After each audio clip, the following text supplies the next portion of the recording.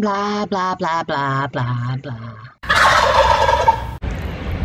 Zdravo dragici i dragići moji i dobrodošli kod mene na jednu malo čudnu lokaciju. Lokacija je ova kućica koja je vez dana svuda, ne znam zašto, i za sve oni koji su zvali i slali poruku, jeste, moja je, moja. E što se dešava? Mislim, za oni koji ne znaju, ja, ovaj, kao što znate, živim radim na salašu i tu je bilo raznih proizvoda koje sam ja plasirala kao zdrava hrana sa salaša u ovoj prodavničici ovde.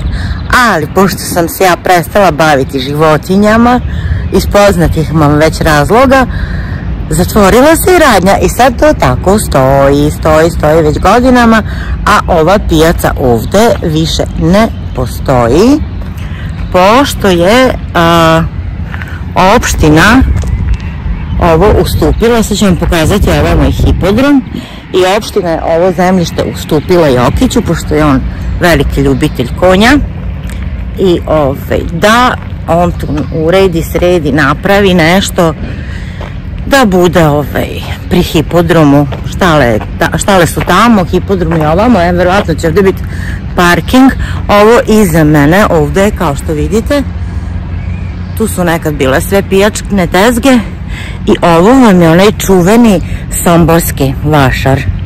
Znači, somborski vašar. E, sad što se ove ti kućice tiče, zašto je to vest, ja vam pravo da vam kažem, nemam pojma, ali se objavilo i u Blicu i u Kuriru, šta ja znam na kojim sve portalima i novinama, kao kućica za hiljade i po evra.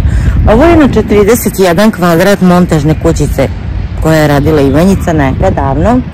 E sad, malo ono ranđevo izgleda, pošto a, je bila boja drveta kad sam ja kupila, a vi znate mene da meni mora biti belo pa sa crvenim prozorima i vratima, to mi onako nekako baš kao salaš. I ovaj, on sve to prefarbala. Umeđu vremenu sta farba i gulila, pa sad izgleda ono ranđavo. A, ovde su prozori koji su blokirani ovim jel te limovima da ne bi neko jel da pojao ajvar kad nije platio i to tako sve u krug i od nazad imamo isto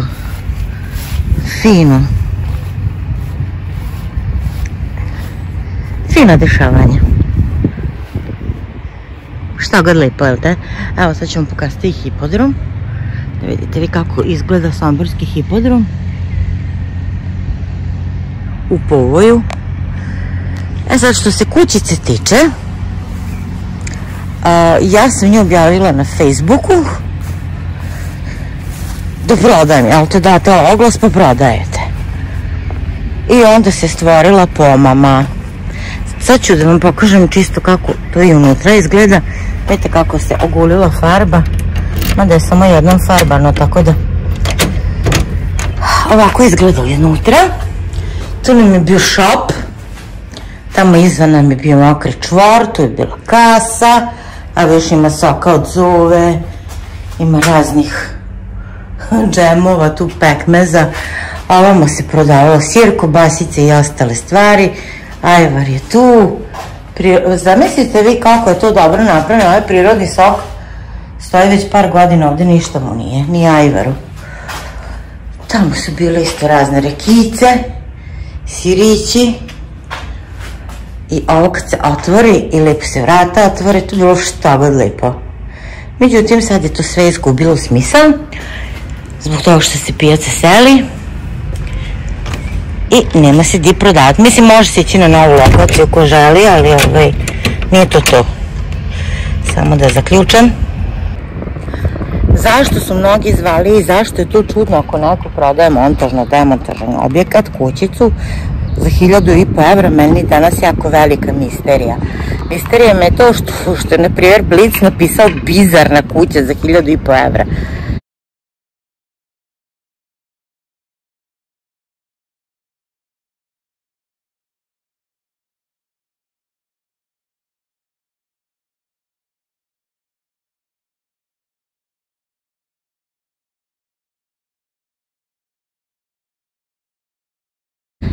Ja ne vidim apsolutno ništa bizarno u ovome, to je što je, može se iskoristiti ko vikendica, ko šupa, ko prodavnica, to su bi prvobitno bila dva kioska koja su spojene, možete podeliti pa napraviti dva kioska. A da ne pričam koliko ono sprdnje ima na, samom Facebooku.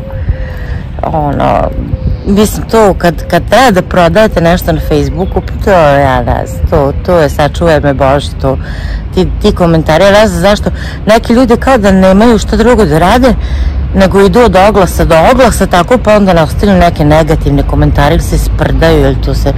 Šta sad to doprinosi tome, ja ne znam, ali se nadam iskreno da njima onda dan mnogo lepši. šta, da, šta da vam kažem?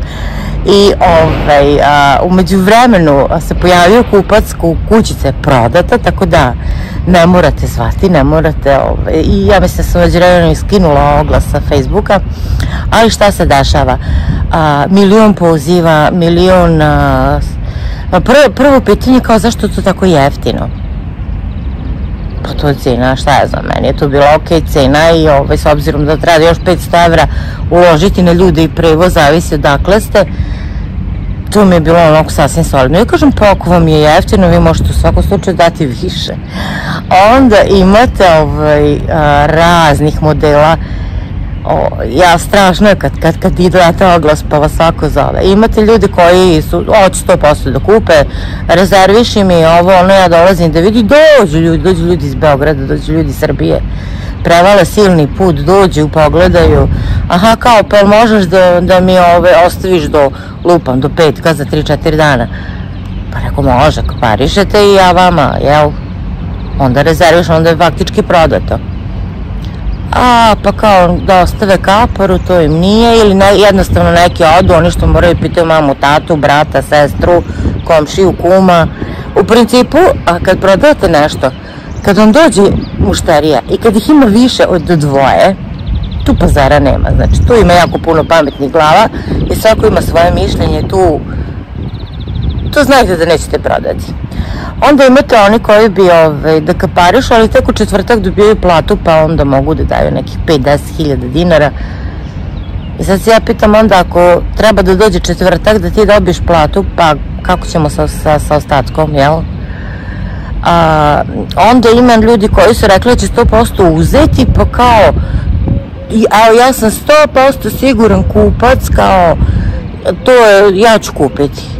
I danas sam ja poslala pa, par njemačaka, čisto s onima koja sam imala dopisivanja, ovi što su zvali, ne mogu ni da povatam, ali ajde ovi što su preko poruka. I da vam kažem iskreno, kupac koji ne nazove, nego šalje poruke na Messenger, Facebook, uh, Viber, Whatsapp, to nije kupac.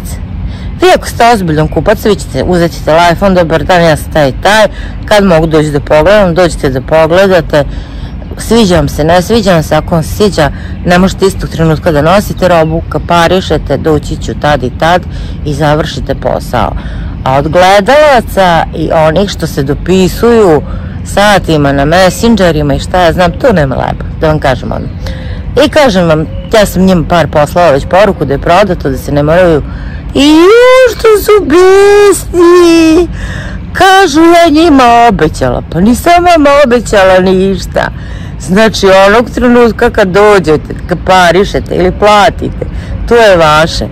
A ti što meni kažeš doći ću u petak, u ponedeljak i doneću pare, pa okej, okay, šta da ti kažem, okej, okay, dođi, ako bude još dostupno, jel da? I tako da su ljudi, svakakvih ljudi ima i sve, svačega ima, ali eto, a, se otišla u dobre ruke, iako mi je drago, ne sam da vam otkriva identitet, ali da su mene pitali, ja bi kupca birala i za tu namenu mi je izabrala. Tako da mi je baš drago da, da se tako to desilo. I što došao čovek, brate, da ono kaparu i rekao doći ću tad i tad da demontiram i nosim. A, toliko od mene za ovo javljanje, pošto će kanda kiša, da ne pokisne mi ova moja bajna frizura, vidite da je vetar, a samo da kažem svima onima koji su me kontaktirali, koji su zvali, jeste moja kućica bila, sad više nije i nije više na prodaju, a što se tiče tih članaka u novinama, pa, da svako može bude novinar i sve nešto vest kao mačka mi se omacila, ima tri mačeta, crno, belo i zeleno.